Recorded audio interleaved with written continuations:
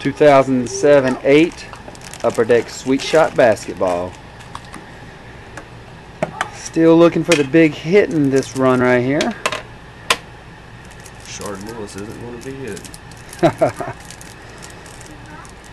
He's got a neck stinger right now.